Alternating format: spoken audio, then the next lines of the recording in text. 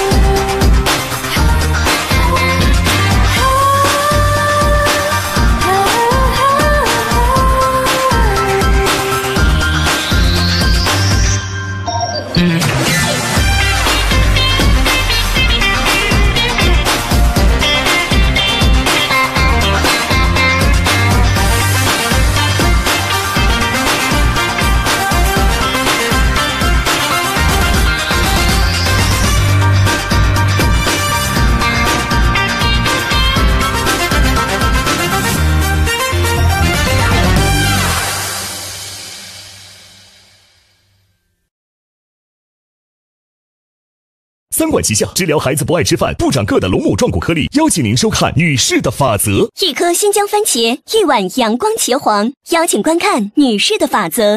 我的委托人在他原来的工作岗位上打拼了这么多年，你现在让他去做地推，或者是行政策划，是对他以往所有成绩的否定。我不确定他能不能接受。跟他谈谈，都是女人嘛。郑岩的肚子才是好货到要他离职的真正原因，什么渎职啊、工作失误呀，他们给的和解金就比解聘一个孕妇的离职赔偿金高了那么一点儿。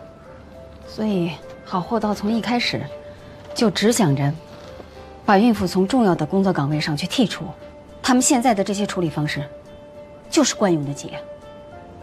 先找一个罪名扣下去，孕妇没有时间也没有精力去跟他们打官司。所以很容易达成和解。等到了待产期的时候，还可以领到工资。生完了孩子，还要忙着带孩子，所以根本就不能重返职场啊。好货道是标榜狼性的互联网的企业，孕妇的工作时长达不到九九六，也要支付他们的工资和保险金，这对管理其他员工会带来很大的负面影响。所以呀。他们让孕妇拿和解金走人，企业只需要支付一个边际成本就能够维持原来的劳务产出水平，这才是最简单有效的方法。听起来像卸磨杀驴，而且这个驴不止郑岩一个人，只是郑岩不接受这个条件而已。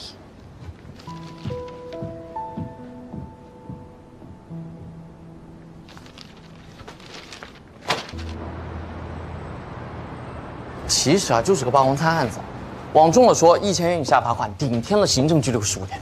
其实我倒是觉得啊，这类案子比较适合你积累庭外和解的那个经验。庭外和解经验我都积累一年了，是吧？听说飞来鹰，经济类案件不是你擅长的领域。哦，对了，那个一会儿有一个小区有普法宣传，哎，辛苦你再跑一趟啊。除了宣传就是咨询。你说什么呢？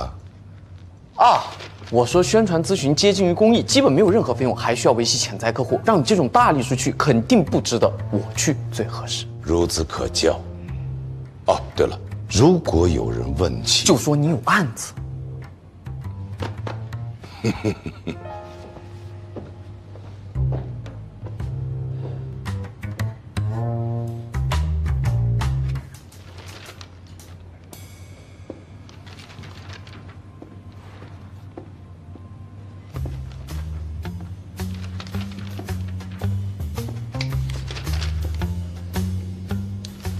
律师又要加班跟国外的客户开会啊！唉，怎么说呢，在处理师傅交给我大案子。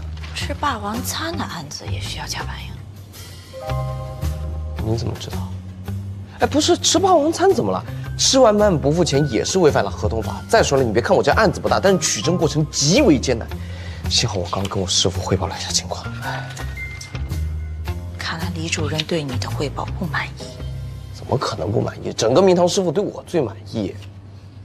那你干嘛还一脸不高兴呢？既然李主任满意，那就是你不满意了。啊，你跟李主任要大案子被拒绝了。嗯，没有啊，我我，不是我师傅知道我的优点和闪光点在哪，也知道我的长处在哪。哎，你知不知道什么叫不战而屈人之兵？不是所有的案子都需要上法庭的。是是是是，宋大律师说的都对，但是我就是有一点不太明白。你有什么不明白的都可以问我，我会一一为你解答。既然都不想闹上法庭，那要我们诉讼律师干什么呢？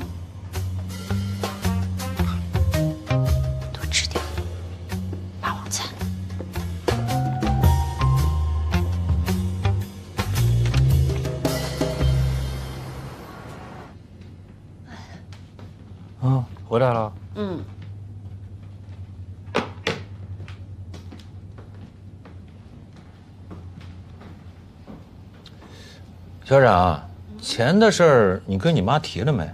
提了。之前我妈的钱不是拿去投资了吗？嗯，她跟我说一时半会儿呢也收不回来。我估计咱们俩还得照之前商量的来。真要换房子啊？嗯，我倒是无所谓，呃，只要离洋洋的学校近点就好了。我跟我妈妈说了，想当我爸爸的辩护律师，嗯，她也没同意。不知道她在想什么。嗨，他们俩分居多少年了？要我说呀，不同意，这纯属正常。你觉得是正常？正常啊，他们的脾气性格你又不是不了解，谁愿意放下身段啊？啊，所以啊，这种相处方式，他们早就习惯了。哼，我的意思是说，你别想太多了啊，事情嘛，样样处理，总会过去的。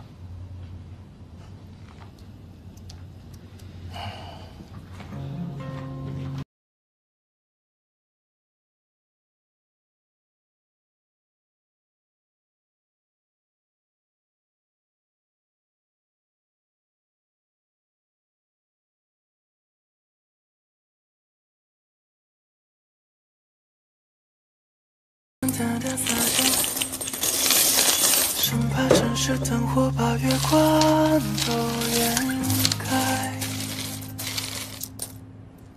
雾气点点凝聚在窗外，让人看不清现实的美。时光悄悄逝去难重来的你都在。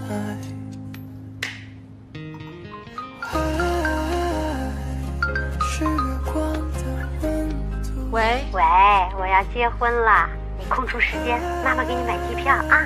我去干嘛？离了我你还结不了婚了？没其他事，我挂了。哎，你就不能祝福我吗？人海，不管雨淋或日晒，穿透浓雾温柔照耀而来，你的爱，穿透风息而来，你的爱。你这种人啊，知识渊博，学识宽广，博览群书，但是话中句句带刺，句句扎心。从表面上看啊，就不想与人建立良好的社交关系，看起来孤独自傲，但其实你内心特别伤感了。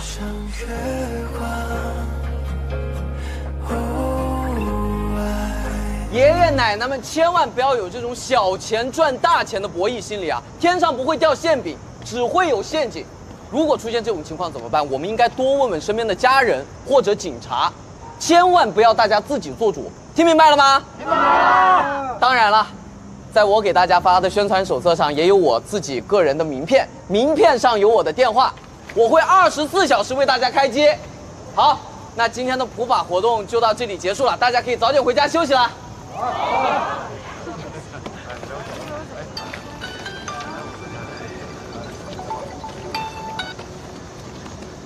喂，许律师啊。工作顺利吗？嗯，还算顺利吧。我认为啊，上庭是律师的工作，但是不让当事人走上法庭是我们律师的使命。今天我就很荣幸，避免了一大帮老年当事人走上法庭。看来今天收获不小呀。你上次说的很对，我疑心不向好。但是今天不一样，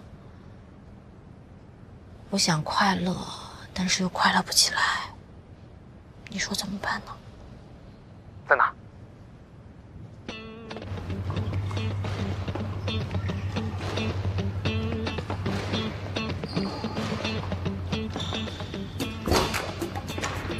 你这运动够冷门的呀！会打吗？我原来可是中学生运动冠军，一分钟上手。我打球没有规则，只要你能够打到球就行了。巧了，我就喜欢没有规则。准备好了？好了。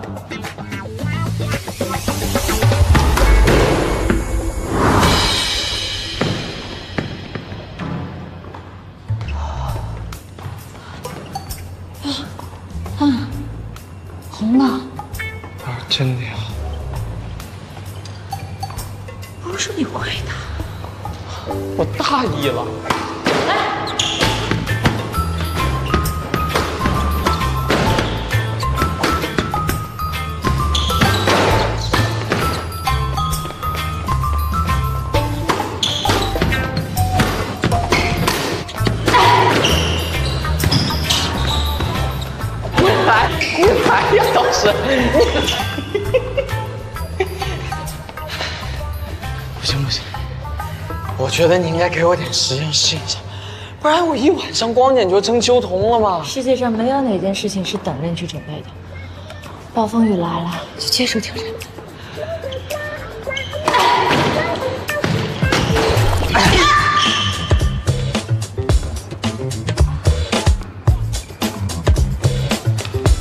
你没事吧？我不是故意的，我刚刚满脑子想的就是迎接挑战了。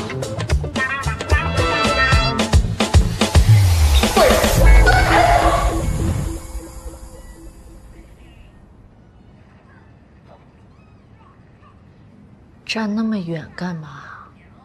怕我再打你啊？哦，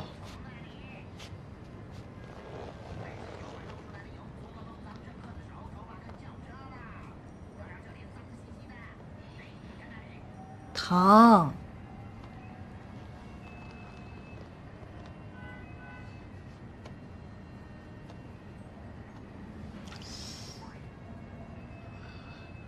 真疼啊！你说呢？不都让你打一下了吗？你就不能开心点？你不是说让我对你态度好点吗？我不能靠打你高兴吧？没事儿，嗯，打我能开心，那我牺牲也是值得的。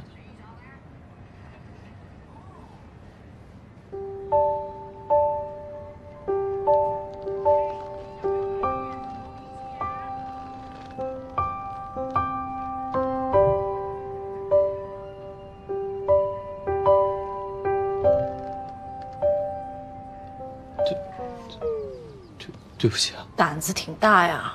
我刚刚不是故意的，不是故意的，那是随便的。啊，不是不是，绝对不是随便的，我是故意的。到底是故意的还是随便的？告诉你，犯了错误就要接受惩罚。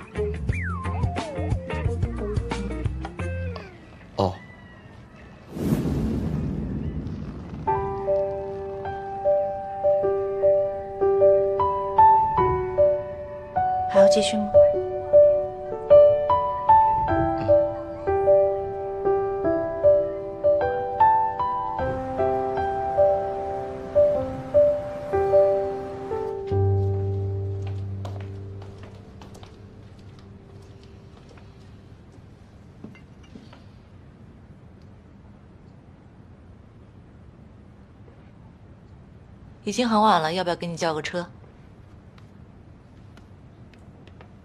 我我我自己来吧。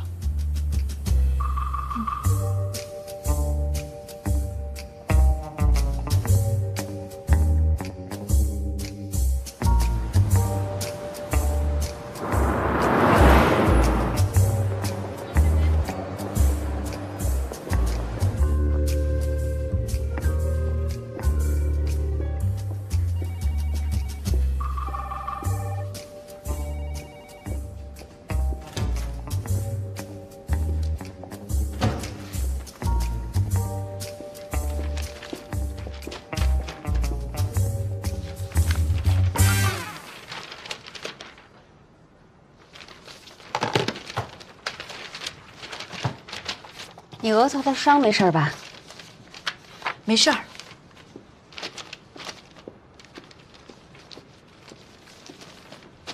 你怎么也受伤了？我刚才看到宋律师脸上有那么大一块，跟他那个蠢样简直绝配。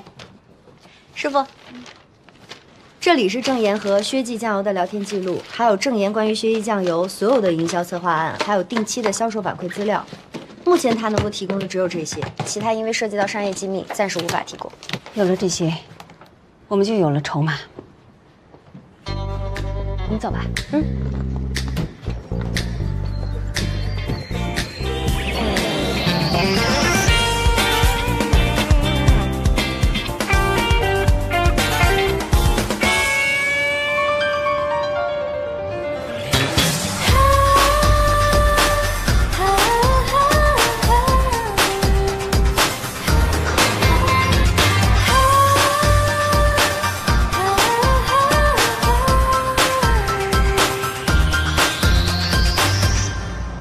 总结一下，证人，你刚才的意思就是退市是你自己决定的，和原告方无关，对吗？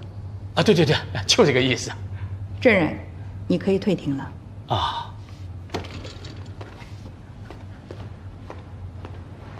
被告代理人，你有什么意见？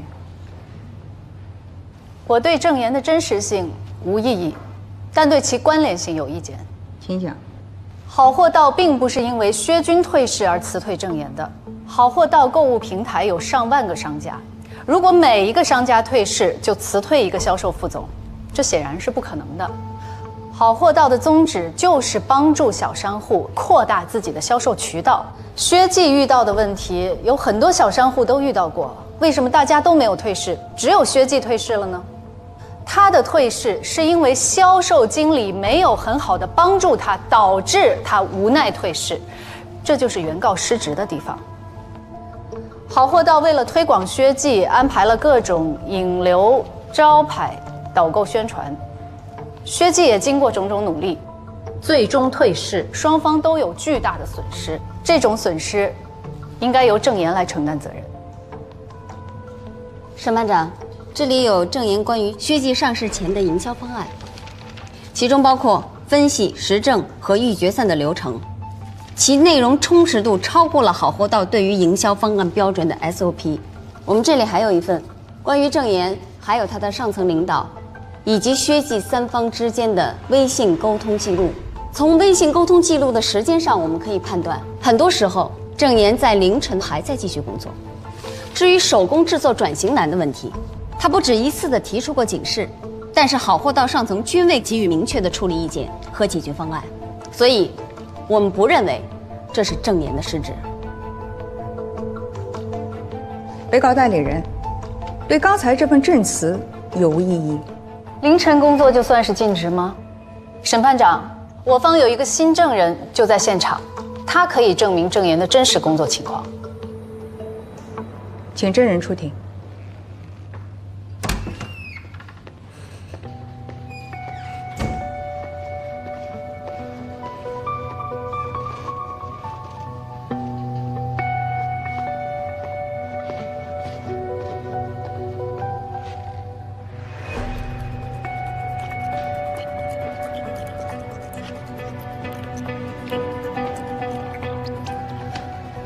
审判长，这个证人没有在证据清单上，这是证据突袭。我们也不是故意的，这个新证人是刚刚在公司自查的时候发现的。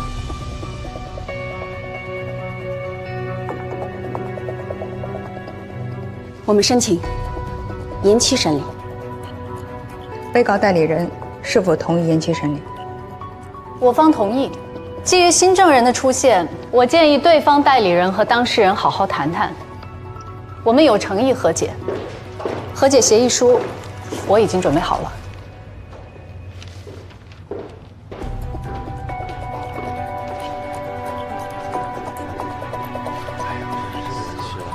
法案延期审理，开庭时间另行通知。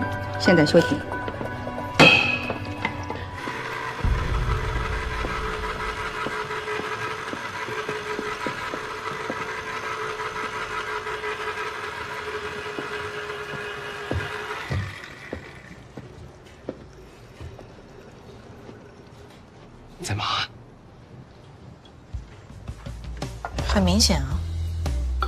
那我给你发消息，你收到了吗？收到了。哦，我是这样想的，我们俩是不是发展的比较快？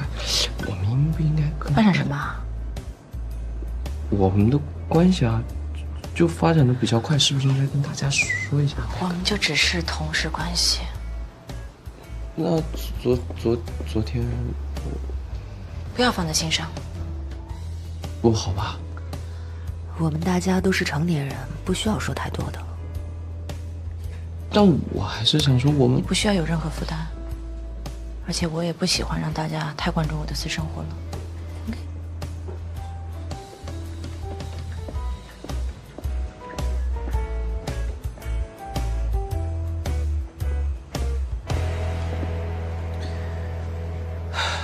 孩子的父亲是他吗？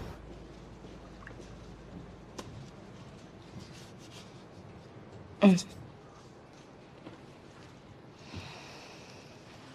我们交往一年多，我怀孕以后，唐瑞不想要这个孩子，他想让我打掉，但是我决定把这个孩子生下来，所以我们就分手了。之前还是甜言蜜语的男人，知道自己有孩子以后，就变成另外一个人。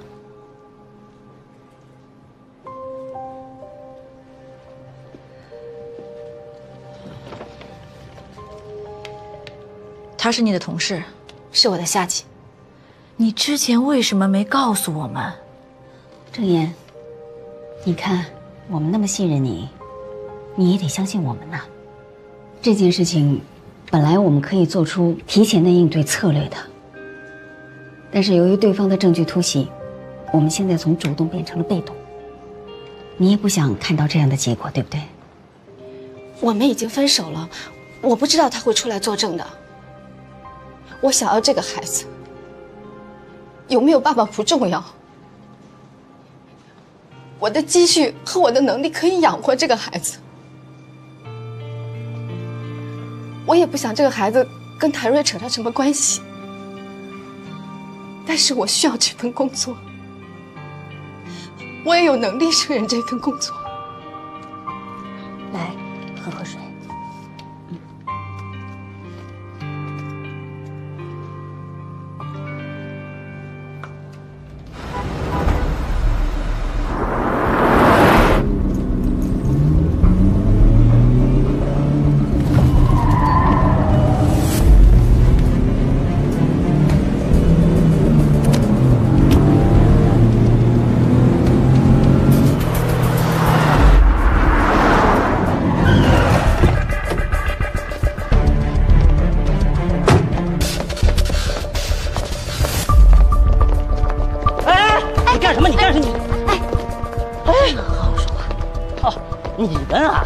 跟你们无话可说。你没关系啊，我们每天都在这里等你下班。告诉你，像你这种渣男，哎哎哎，你说谁渣男呢？我不是渣男，别给我扣帽子。你才不是渣男，你的行为就是真正意义上的渣男。我怎么渣男了？公司领导说了，郑妍怀孕是没有办法在公司任职的。那我去出庭作证，我还能升职？不止吧？他们给你什么好处了？没有。他们铁了心要解聘郑妍，一定是找到了继任者。销售行业做生不如做熟，你就是最合适的人选。所以你为了个人的利益，不顾郑妍，不顾她肚子里的孩子，要为这种没有人性的公司做伪证。你说我做伪证？你们不是律师吗？法律讲究证据吧？我们当然讲证据，在法庭上，薛记已经证明，退出购物平台是他们自愿的，跟郑岩毫无关系。我警告你啊，做伪证是要负法律责任的。那我也是没有办法啊。我当时就跟他说把孩子打掉，打掉公司就不会解聘他，非是不听，还自作主张要把孩子给生下来。女孩子怀孕了，就要被离职，你们男的就可以升职加薪，这是什么道理？我告诉你啊，婚姻法对非婚生子女有明确的规定，不直接抚养非婚生子女的生父或者生母，应当负担孩子的生活费和教育费，直到孩子能够独立生活为止。但是郑岩跟我说过了，这个孩子不需要我抚养。孩子说了吗？这是你们两个人的孩子，你就有义务抚养他。郑岩是无权为这个孩子做这个损益的决定的。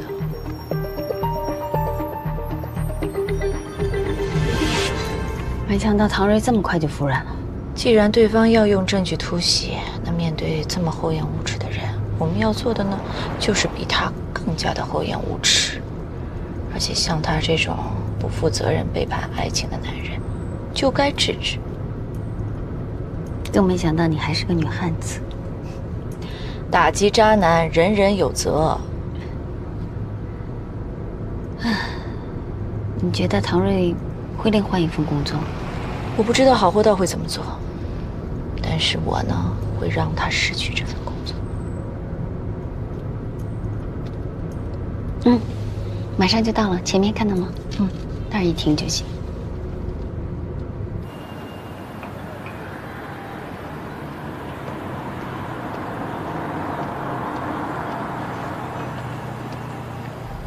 一直也没有机会拒绝，要不要到家里去坐坐？不必了吧，我已经下班了，而且我对上司的私生活不感兴趣。那好吧，什么时候感兴趣了，随时欢迎来。谢谢了。陈律师，明天穿的正式一点。有事啊？借你一用。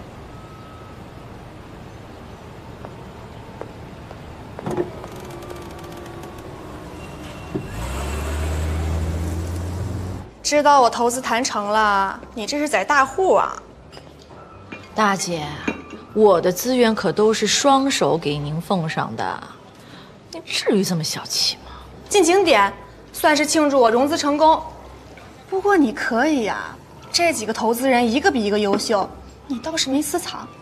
哎，我要跟你似的，每天接触这么多优质帅哥，我早给自己划了一个，气死孙哲伟！哎。打住啊！我干嘛为一个莫名其妙的人搭上自己啊？我是案子不够多，还是赚钱不够累啊？还要分我一份心思谈那些莫名其妙的恋爱？行，您最洒脱。来，那我就祝你钱多事儿少，尽情享受单身生活。我喜欢。来，谢谢啊。你说咱们两个在这干聊也没什么意思。哎呀，说不定这次换了呢，没什么劲呢。宝贝儿，走，我带你去年轻人的地儿，激发一下青春。你先过去吧，我一会儿过去找你。说定了，我等你啊，一会儿见。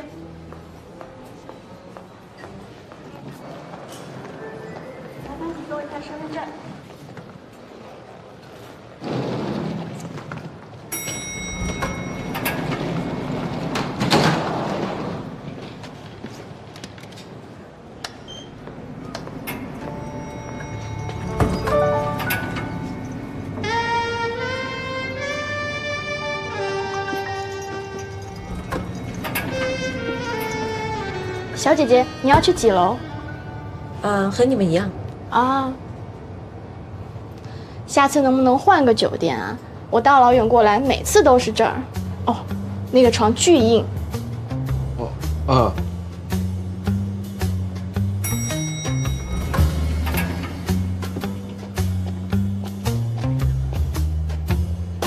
走呀。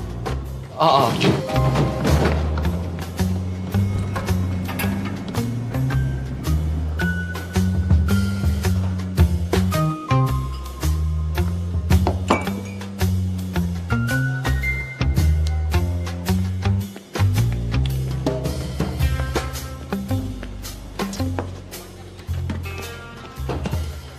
这么巧啊！这么快啊？刚才招呼也不打一个。我这是严格遵守你的命令，绝不透露咱俩关系。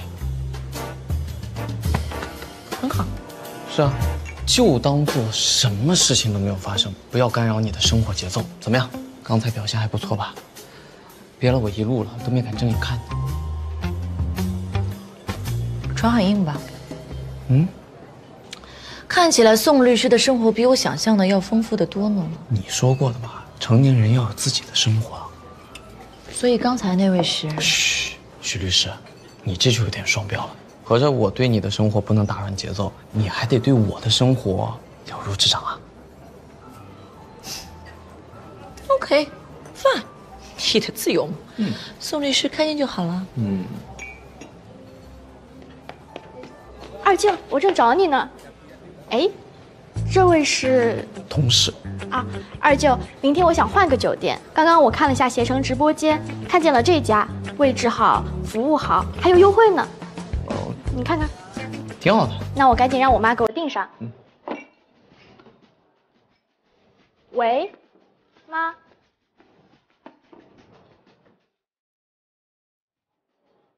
二舅。那什么外甥女来艺考，托我照顾一下，还要汇报吗？二舅啊，二舅，厉害。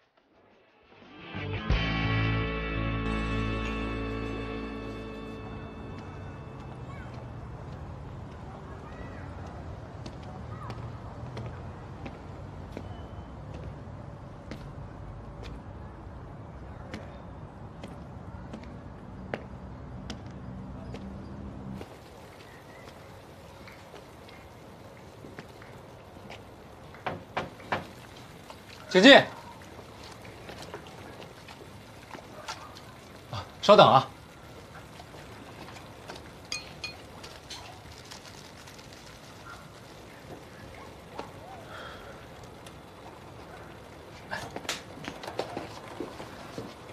你有法律方面的事情要咨询吗？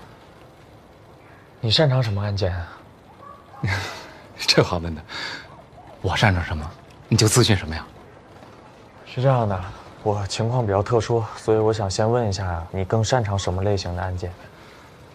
呃，我没有特别主攻的方向，这几年呢都是公益案件居多，大部分都是公众权益、呃环保问题，民事方面呢处理过一些财产问题。所以你没有太多的经济案件经验是吧？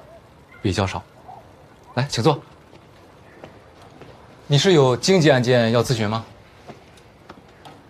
你以前在明堂工作，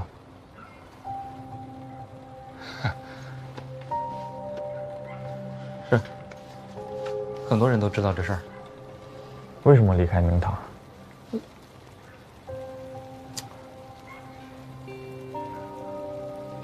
哎呦，水开了。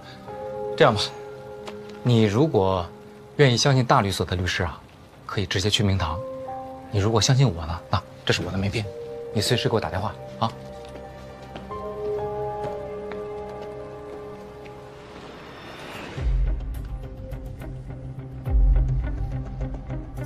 关于陈主任两千万的非法收入，都是由海外账户分批分次打进来的。第一笔非法收入是三年前，是陈文光和联创集团签订合作协议不久之后打进来的。这三年里，陆陆续续打进了十几次。可联创集团已经支付了我们的咨询费和代理费，为什么又单独给老陈打钱呢？但这些看起来并不像巧合。以我对老陈的了解。他不是这种人，还有吗？陈主任每年都要去瑞士两三次，这不是什么疑点。我们律所啊代理的静海市医药企业，跟日内瓦有业务往来。老陈啊，那是去出差，但是他回城的时候，每次都是从卢塞恩转机回国的。我们律所在卢塞恩有业务吗？没有。那这就是疑点所在了。既然律所在卢塞恩没有业务那为什么陈主任每年去瑞士都要去卢塞恩呢？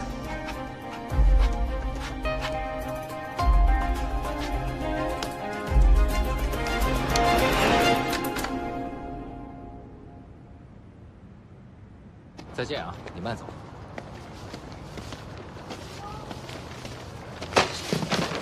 哎我来我来我来。谢谢。啊，没事。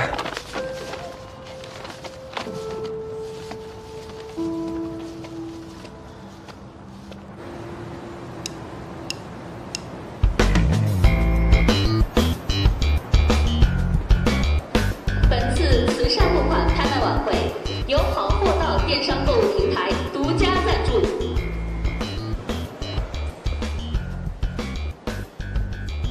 她叫艾美，是好货到的形象代言人。芋泥坊氨基酸泥浆，它非常人家是大网红，带货主播，全网排前三呢。艾美是好货到的代言人。在自由的呼吸，它非常的温和不刺激，所以敏感肌的宝宝们也可以放心使用哦。现在网红或者明星代言人设翻车的例子太多了。现在好货到辞退了怀孕女员工，对爱美也是一种影响。所以呢，好货道的老板入股了一家上市公司，爱美在消费者心中的形象，直接关系到下周一开盘股票的走向。哎人太多了。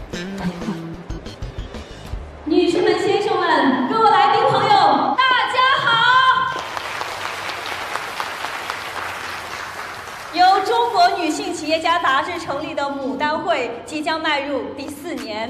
今天，我们将为非洲女性创业基金募款，帮助世界其他角落的女性实现独立的机会。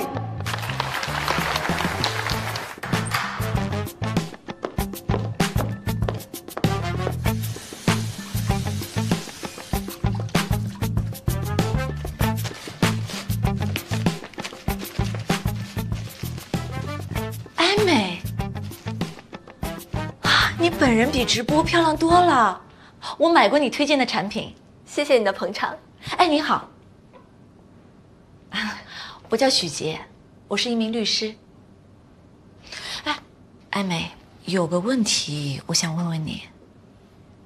假如你的粉丝知道好货道是一家歧视女性的公司，他们会在女员工怀孕后开除他们，你说你的粉丝知道后会是什么反应啊？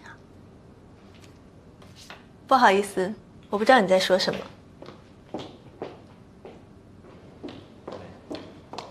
什么情况？莫名其妙。我们一定要给粉丝多抛出一些话题点。你们想想，怎么样能在这一群独立女性心中留下记忆点，证明我们不是来打酱油的？明白了吗？明白。走吧。艾美，艾美你好，我叫陈冉，刚才在洗手间里，我的同事有点太激动了，因为他有的时候控制不了他自己的正义感，我代他向您道歉。没关系的，你不用替他道歉。而且我也跟他说了，有什么问题直接联系我的律师就好。艾美，能给我三分钟吗？我只需要您三分钟。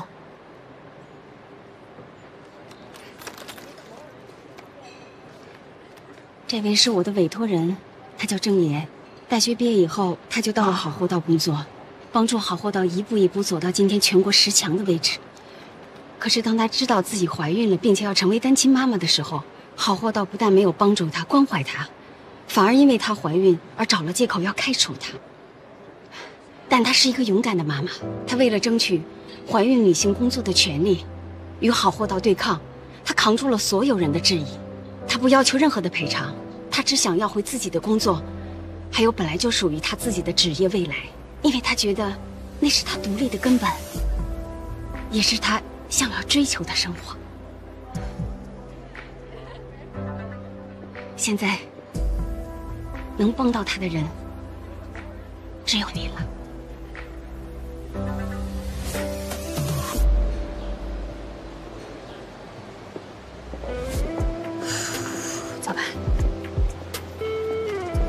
聊的怎么样？我也不知道反正我把想说的全都说了。那基本就成了。这种独立女性人设的女主播最吃你这套我回律所你呢？我请假了下午要去签租房合同。你这伤没事 宋律师你千万不能放过这个人渣你看他给我打的遭遇我非常同情、理解和气愤。如果你男朋友这种情况，我建议你直接分手加报警。可是我在网上查过，民事诉讼案件是可以调解的。你不是专门负责这一块的吗？是可以调解，但是你现在又不报警，又不分手，也不要赔偿，我 我没办法呀。啊，这样吧，我先带你去看看伤吧。走吧。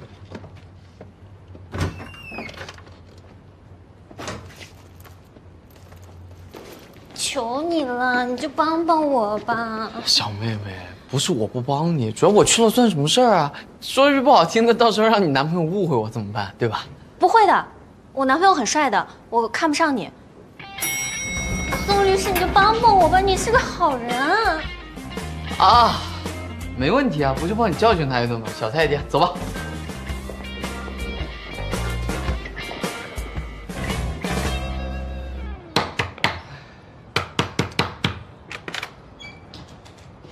是他，他打了我，你帮我好好教育教育他。说你谁呀？啊？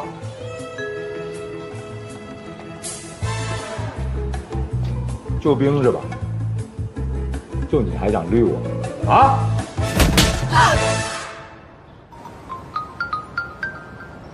你好，是许杰女士吗？这里是周家口派出所。你个律师，刚在我这领的人，这才过去几天呢，你自己又来了。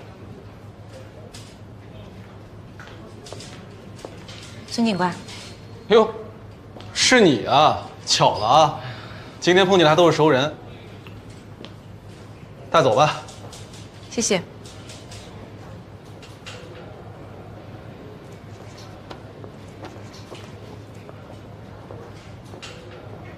可以啊，宋律师，拓展新业务了，提供上门挨揍的服务。我那怎么叫挨揍呢？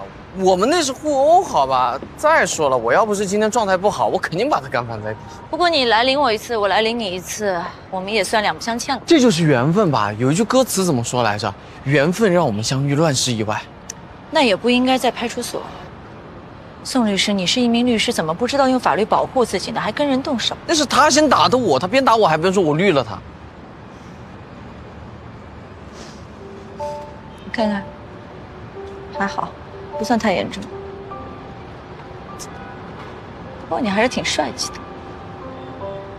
真的假的？